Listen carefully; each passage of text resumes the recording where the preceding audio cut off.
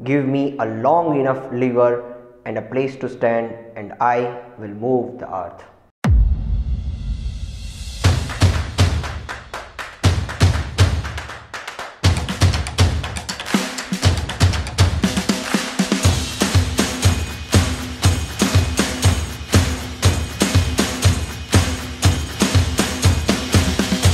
Hello then welcome दोस्तों मेरी channel पे आपका फिर से स्वागत है दोस्तों, आज एक बहुत ही इंटरेस्टिंग वीडियो लेकर आया हूँ। जैसे कि आपने थंबनेल में देखा होगा, आज का वीडियो होने वाला है एसिमेट्रिक अपॉर्चुनिटीज़ पे। मैं जानता हूँ, आप में से कई लोग सोच रहे होंगे, क्या होता है एसिमेट्रिक अपॉर्चुनिटीज़ डोंट वरी आज की वीडियो में हम देखने वाले हैं, क्या होता है एसिमेट्रिक अपॉर्चुनिटीज़ और टेन ऐसी एसिमेट्रिक अपॉर्चुनिटीज़ के बारे में बात करेंगे, जो कि आज के टाइम में बहुत ही रेलिवेंट है।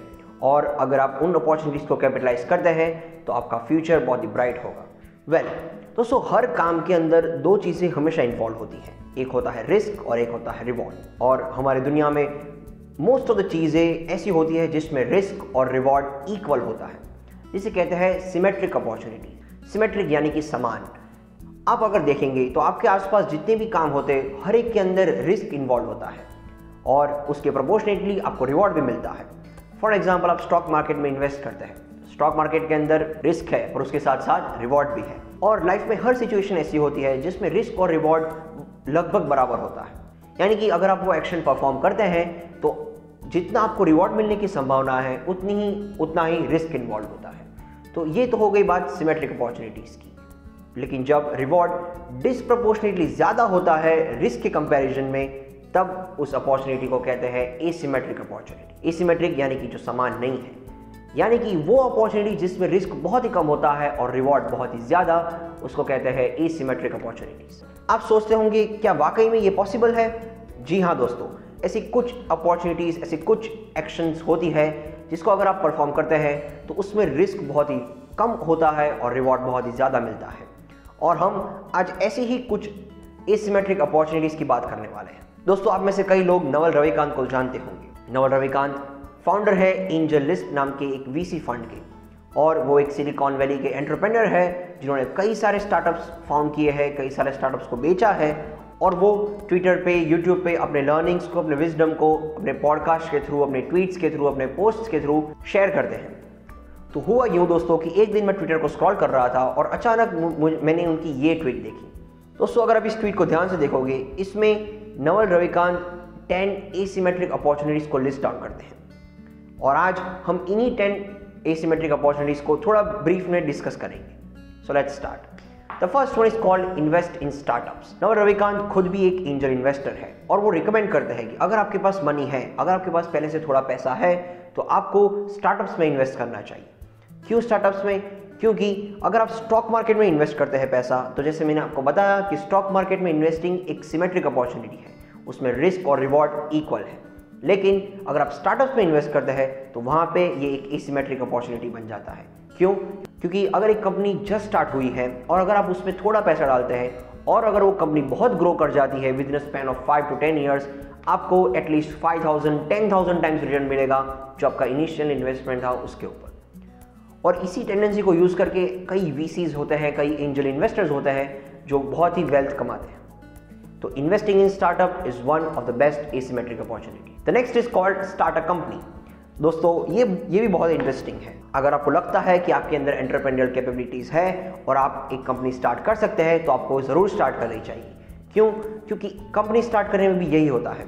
आपका इनिशियल इन्वेस्टमेंट बहुत ही कम होता है। लेकिन अगर आप कंपनी को सही तरह से ऑपरेट कर पाएँगे, अगर उसको सही तरह से बिल्ड कर पाएँगे तो उस कंपनी का जो रिटर्न होता है, वो बहुत ही इंक्रीज होता है कंपेयर टू आपके इनिशियल इन्वेस्टमेंट की। And this is the golden era of entrepreneurship if you can't succeed now you can not succeed ever the third one is called create a book video और podcast this is an obvious one दोस्तों, अगर आज के ज़माने में आपके पास कोई idea है, आपके पास कोई सेंट्रल थीम है, आपके पास कुछ नॉलेज है, और उसके अराउंड आपके पास कोई बुक नहीं है, कोई पॉडकास्ट नहीं है, कोई यूट्यूब चैनल नहीं है तो आप बहुत ही बड़ी अपॉर्चुनिटी मिस कर रहे हैं। क्योंकि आज का ज़माना सोशल मीडिया का ज़माना है, आज का ज़माना परमिशन लेस लेवरेज का ज़माना है। और अगर इसमें आपके जो डोमेन नॉलेज है, उसके स्पेसिफिक आप कोई ई बुक लिखते हैं, या फिर कोई पॉडकास्ट शुरू करते हैं, या फिर कोई यूट्यूब चैनल शुरू करके अपना ज्ञान देते हैं तो this is also an asymmetric opportunity why क्योंकि जो इनिशियल कॉस्ट होता है आपका इन चीज़ को स्टार्ट करने में, इन चीज़ों को बनाने में, वो मिनिमम होता है। लेकिन अगर आप इसमें सक्सीड होते हैं तो जो आपका रिटर्न होता है, वो बहुत ही डिसप्रपोर्शनेट होता है। अगर आपने एक किताब लिख दी और अगर वो बेस्ट सेलर बन गई तो you can earn for the rest of your life sitting on your couch आपको एक वीडियो बनाने में पंद्रह मिनट लगते हैं। लेकिन उस पंद्रह मिनट के वीडियो को अगर आप यूट्यूब पे अपलोड करते हैं और उसको एक हज़ार लोग देखते हैं तो आपका 15,000 मिनट्स का व्यू टाइम बढ़ जाता है। Do you see the difference here आपका जो इनिशियल इन्वेस्टमेंट है वीडियो बनाने में आपके टाइम के फॉर्म में वो बहुत ही मिनिमम है लेकिन उसका जो इंक्रीज रिटर्न मिलता है आपको वो बहुत ही डिस्प्रपोर्शनेट है। इसीलिए आजकल के ज़माने में if you have a domain knowledge of any topic you should definitely write a book और स्टार्ट अ पॉडकास्ट और start a YouTube channel around that domain the next one is called create a software product दोस्तों नवल इसमें software brackets में लिखते हैं। अब जानते हैं क्यों? क्योंकि प्रोडक्ट डेवलपमेंट बहुत ही कॉम्प्लिकेटेड प्रोसेस है। अगर आप में से किसी ने प्रोडक्ट डेवलपमेंट में काम किया है तो आप जानते हैं there are thousand things involve in developing a product लेकिन अगर आप सॉफ्टवेयर प्रोडक्ट बनाते हैं तो उसमें लेवरेज बहुत ही ज़्यादा होता है। और उसमें जो बिल्डिंग का प्रोसेस होता है, वो फिर रिलेटिवली ईजी होता है कंपेयर टू किसी फ़िज़िकल प्रोडक्ट को बनाने के, किसी हार्डवेयर प्रोडक्ट को बनाने के लिए।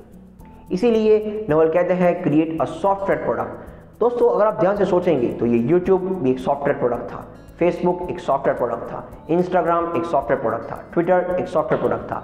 आज जितनी भी बड़ी टेक कंपनीज़ है, वो सब स्टार्ट हुई थी एक सॉफ्टवेयर प्रोडक्ट के रूप में। अगर आपके पास भी ऐसा कोई आइडिया है कि जिसको लगता है कि इसको मैं अगर वेब एप्लीकेशन के फॉर्म में बना सकता हूँ और को मैं होस्ट कर सकता हूँ then definitely do it because the building cost is one time But if you can get enough number of users using that product, then you are up for a ride. The fifth one is called go on many first dates. दोस्तों नवल इस पे बहुत ही चीजी example देते हैं। उन्होंने क्या लिखा है? Go on many first dates दोस्तों इंडिया में तो डेटिंग कल्चर इतना पॉपुलर नहीं है लेकिन वेस्ट में डेटिंग कल्चर बहुत ही पॉपुलर है। डेटिंग में क्या होता है? आप किसी अननोन इंसान से पहली बार मिलते हैं एक कॉफ़ी डेट पर या फिर एक लंच डेट पर या फिर एक डिनर डेट पर और आप उनको पहली बार जानने की कोशिश करते हैं। और फ़र्स्ट डेट में ही डिसाइड करते हैं आप कि क्या आप उसके साथ रिलेशनशिप मेंटेन करना चाहते हैं। इसीलिए हमेशा जो फ़र्स्ट डेट होती है, वो बहुत इंपॉर्टेंट होती है। क्यों? क्योंकि फ़र्स्ट डेट में आपको आपकी पहली इंप्रेशन दिखानी है। आपको जो सामने वाला पार्टनर है, उनको जज करना है कि क्या ये मेरे लिए सही है। और अगर आपको पता, अगर आपको लगता है कि नहीं, ये मेरे लिए सही नहीं है तो आप उसी वक्त उस चैप्टर को क्लोज कर सकते हैं और उस बात को आगे बढ़ाने से रोक सकते हैं। और नवल कहते हैं go on many first dates why because अगर आप अपना पार्टनर ढूंढ रहे हैं, अगर आपको लगता है कि आपकी शादी की उम्र हो गई है और आपको एक स्टेबल रिलेशनशिप में रहना है तो अगर आप अगर आप अपना पार्टनर ढूंढ रहे हैं तो अगर आप बहुत सारी फ़र्स्ट डेट्स पे जाएँगे तो आपका जो वेडिंग प्रोसेस है, जो आपका स्क्रूटिनी प्रोसेस है, वो बहुत ही फास्ट हो जाएगा और आप क्विकली ढूंढ पाएँगे. The six one is called go to a cocktail party दोस्तों इंडिया में तो मैं जानता हूँ कि कॉकटेल पार्टीज़ का कल्चर इतना नहीं डेवलप किया है, लेकिन वेस्ट में ये एडवाइस बहुत ही प्रैक्टिकल है। क्यों? क्योंकि कॉकटेल पार्टीज़ में क्या होता है, अगर आप लोग, आपको किसी ने अपनी कॉकटेल पार्टी में बुलाया है तो वहाँ उनके सारे दोस्त होंगे। So that is a good opportunity to network और स्पेशली अगर आप एक एंटरप्रेन्योर है तो आपके लिए नेटवर्किंग बहुत इंपॉर्टेंट है। आपको कई लोगों को जानना बहुत इंपॉर्टेंट है। That is why it is said go to a cocktail party if you go to a cocktail party you will meet new people अगर आप किसी पार्टी में जाते हैं तो आप, आप लोगों को मिलेंगे उनसे इंट्रोड्यूस करेंगे अपने आप को और ऐसे आपका जो नेटवर्क है वो बढ़ता जाएगा। और शायद उस पार्टी में आपको कोई ऐसा बंदा मिल जाएगा जो आपके बिज़नेस को नेक्स्ट लेवल ले जाने के लिए बहुत ही हेल्पफुल हो। The seventh one is an interesting one Naval कहते हैं रीड अ लिंडी बुक दोस्तों नसीम तलेब ने ये इफ़ेक्ट को बहुत ही पॉपुलराइज किया है अपने book the skin in the game में लिस्ट करके। दोस्तों क्या होता है लिंडी इफ़ेक्ट अगर कोई चीज़ अपने टाइम फ्रेम के रिलेटिव में नहीं लिखी गई है तो वो चीज़ बहुत ही लॉन्ग लास्टिंग होगी if commodity is not relative to the time period that it, is, that it exists in, it can last for a long time. इसका सिंपल मीनिंग ये है अगर कोई बुक जब वो बुक रिलीज़ हुई है सिर्फ़ उसी टाइम फ्रेम के रिलेटेड लिखी गई हो अगर उसके रेफरेंसेस सिर्फ़ उसी टाइम फ्रेम में फिट बैठते हो तो वो बुक लंबी नहीं चलेगी क्योंकि हमारा वर्ल्ड इवॉल्व होता जाता है, हमारा वर्ल्ड चेंज होता जाता है। और अगर आप किसी ऐसी बुक को पढ़ेंगे जो सिर्फ़ आज के ज़माने में ही रेलेवेंट होगी तो वो बुक लंबे नहीं चलने वाली। वो बुक आपके लिए भी बहुत बेनिफिशियल नहीं होगी। ऑन द कॉन्ट्ररी अगर आप कोई ऐसी बुक पढ़ेंगे जो सालों से चलती आ रही है तो ये एक इंडिकेशन है कि वो एक लिंडी बुक है। क्यों? क्योंकि उसने बहुत सारे जनरेशन को पास किया है आप तक पहुँचने के लिए। और अगर वो आज भी इतनी फ़ेमस है तो आपको उसको ज़रूर पढ़ना चाहिए। that is why it is said read the classics अगर आप इवोल्यूशन के बारे में पढ़ना चाहते हैं तो you should begin with origin of species because it is been around for 200 years right similarly if you want to learn about economics you should start with adam smith's the wealth of nations why because it is a lindy book it has passed through generations to reach here as a rule of thumb if the book is more than 50 years old and it is still available in the market you should definitely read it because it is a lindy book अगर मैं कुछ self help books का आपको उदाहरण दूँ तो first is thinking grow rich the other one is how to win friends and influence people the third one is as a man thinketh ये सारी books near about 100 years old है और at least 80 90 years old है और ये generation पर generation पढ़ी जाती है। क्योंकि इनमें जो प्रिंसिपल्स लिस्ट किए गए हैं, इनमें जो कंसेप्ट लिस्ट किए गए हैं, वो इटर्नल है। तो आपको हमेशा ऐसी बुक पसंद करनी चाहिए जिसका, जिसके जो कंसेप्ट है, जिसकी जो टीचिंग्स है, वो इटर्नल हो। दोस्तों दस eighth one is called move to a big city आप सोचते होंगे कि मुंबई, बेंगलोर, दिल्ली, चेन्नई, कोलकाता, ये सारे मेट्रोपॉलिटन सिटीज़ में इतनी भीड़ क्यों होती है? The reason is the opportunities on this in this cities is very huge. हम देखते होंगे कि अगर जैसे ही कोई कंपनी बड़ी होती है, वो इन सिटीज़ में से कोई एक सिटी में अपना हेडक्वार्टर बनाती है. Why because big city implies big opportunities big opportunities implies big growth इसीलिए moving to a big city is also an asymmetric opportunity the ninth is called buy Bitcoin Naval Ravikant is a crypto geek वो कहते हैं कि buying a Bitcoin is also an asymmetric opportunity The price of Bitcoin right now is manageable and it is surely going to rise in the future जैसे crypto की acceptancy बढ़ती है bitcoin का जो प्राइस है वो और ज़्यादा बढ़ेगा। और हमने पिछले साल, पिछले कुछ ईयर्स में देखा है कि बिटकॉइन कैसे कंटिन्यूली ग्रो करता जाता है, जैसे क्रिप्टो की एक्सेप्टेंस बढ़ती जाती है। So buying a Bitcoin right now is also an asymmetric opportunity the last one is called tweet क्योंकि नवल रविकांत ने ये ट्वीट था, वो ट्विटर पर डाला था, इसलिए उन्होंने लिखा था tweet but I will generalise it to for any social media platform post दोस्तों, अगर आपके पास किसी डोमेन का नॉलेज है, और उसके अगर आपको कंटेंट क्रिएट करना आता है then you should definitely post content on social media posting content on social media is an also an asymmetric opportunity जितना टाइम आपको एक पोस्ट क्रिएट करने में जाता है, जितना टाइम आपको एक फ़ोटो क्रिएट करने में जाता है, उससे कई ज़्यादा रिटर्न आपको मिलेगा अगर वो पोस्ट वायरल हो जाती है, अगर वो पोस्ट बहुत शेयर हो जाती है.